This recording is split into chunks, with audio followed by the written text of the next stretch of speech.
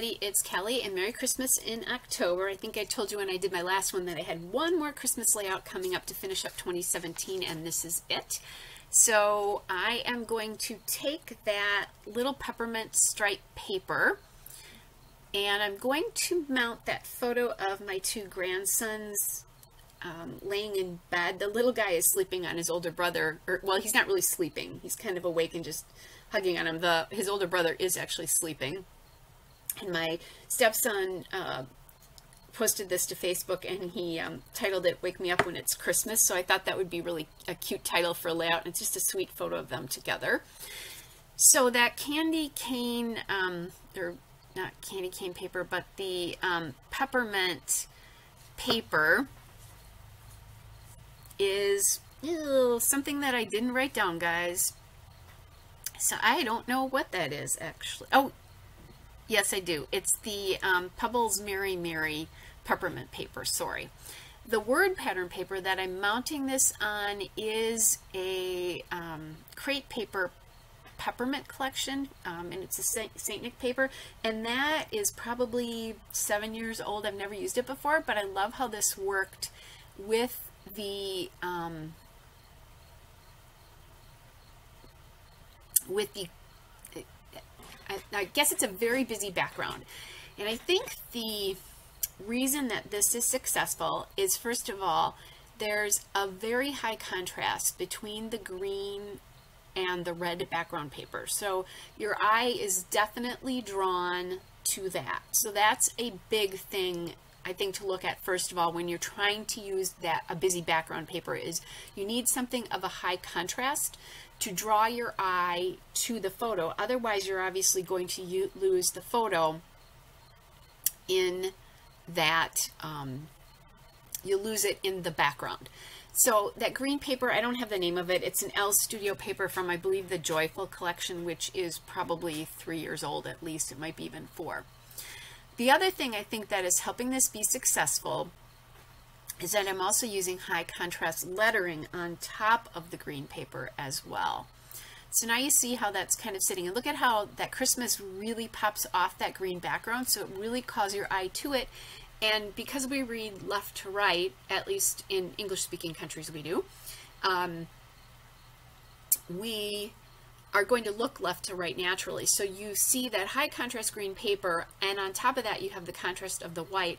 So you read the word Christmas and it brings you right to the photo. Also kind of helping this are the white sheets. So that's drawing you to the dark, very dark photo um, just because this was morning.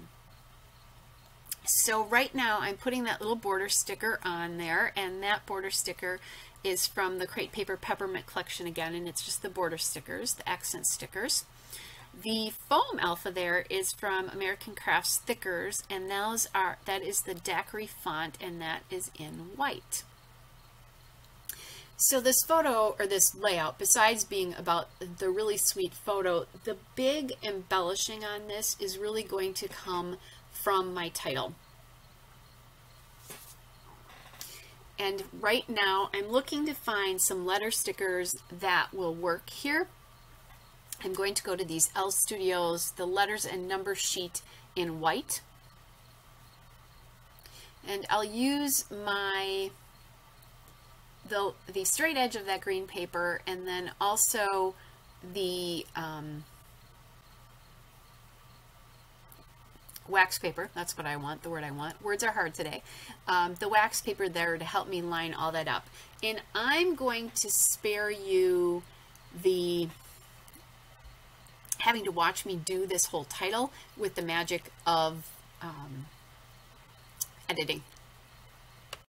Okay guys, I'm back and my title is basically mostly done here. Um, I'm going to come back later. You can see that I don't really have the E's done properly and that's because I didn't have enough E's. So I'm going to use F's and I'll come back, I believe, when this is all over and add in the bottom of that. I just cut up another letter and did that. So that is one of the ways that you can, when you're missing a letter, you can, I call it MacGyvering letters. You can MacGyver things to make um, another letter. And that MacGyvering term comes from Sarah Swan originally. All right, so I want something up in the top there of the layout, and I'm sorry that this is a little low here. I want something up in the top just because it there's a little bit too much space at the top, even though it's all words. Um, again, reading left to right, if I have something in the left corner, it will really help on a diagonal get your eyes to go to the left with the um, kids there. So I'm going into my stash of Elle's Studio die cuts, my Christmas die cuts. I keep all these together, all my Christmas embellishments together in an iris container with a tray in it. So I'm going to go back here and I found this um, little piece that said, Dear Santa, I've been naughty, nice um, this year, and it's a little check off. So I thought that was cute since it's right before Christmas. I was thinking about using that little piece of the border sticker, but I decided not to. And then I found that little um, Elle's Studio die cut that says So Cozy because they are obviously looking very cozy there. And as I was looking for stickers, I found this little sticker from last year's December um, documented kit from Elle's Studio that says blank days until Christmas. And since the whole theme of this is um, wake me up when it's Christmas, I think that is kind of a cute thing to do. All right, so now I'm going to go to my puffy stickers here.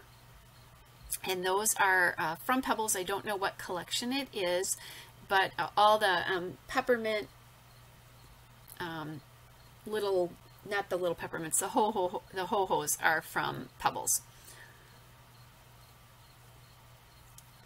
So I have two ho hos, and then I'm adding in these little peppermint enamel shapes, and those came from the American Crafts uh, Holiday Enamel stickers. I don't think that's the collection they came from. I don't think that was named Holiday. But again, these are a couple years old. Using what I have. Of course, I just went and bought a December documented kit, so I can only say that too much.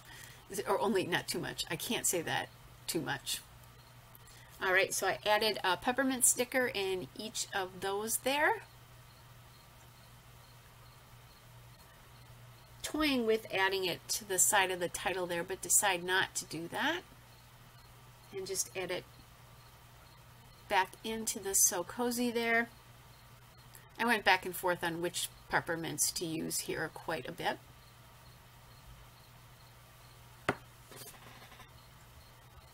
See, I am. going back and forth.